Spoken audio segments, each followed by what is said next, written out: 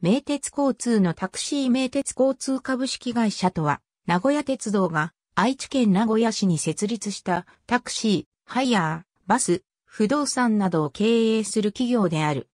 大正期に名古屋鉄道の前身の愛知電気鉄道が大阪タクシーから買収した名古屋タクシーを起源とする。現在の会社は1944年に戦時統制に基づき名古屋鉄道系列の名古屋地区のタクシー事業会社5社が合併し発足した。名古屋市内での運行台数は同地区のツバメグループと双璧をなしている。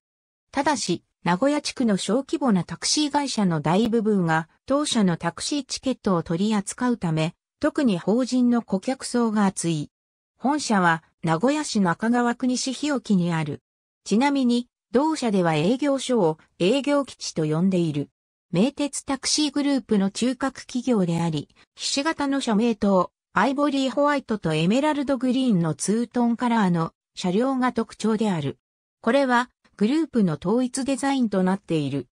なお、大正期の創業時より、名卓という愛称で親しまれており、本企業では、アンドン表示も名卓であった。2011年4月1日には、愛電交通株式会社及び、名鉄名古屋タクシー株式会社との共同株式移転により、中間持ち株会社の名鉄タクシーホールディングス株式会社を設立。これに伴い、車両の表示灯を名、タクから名鉄に変更し、3社で統一された。2016年4月1日、名鉄交通を存続会社として、名鉄タクシーホールディングスを吸収合併。名鉄タクシーホールディングス株式会社に称号変更した。2002年1月3日、名古屋市中村区と海部郡地木事長の庄内側にかかる豊か公共で乗客を乗せた同社の中川営業基地所属の車両が路面の凍結によるスリップ事故で豊か公共の欄干を突き破り、庄内側に転落。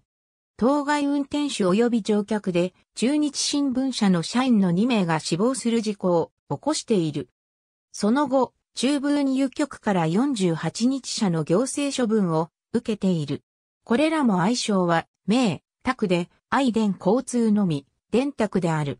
ただし、ひし形のマークの文字は、名鉄タクシー HD が設立されるまで、名鉄交通と岐阜名鉄タクシーと、かつて存在した浜松名鉄交通は名宅だったが、現在は下記の会社の多くは名鉄である。タクシー車両数はグループ全体で約2700台。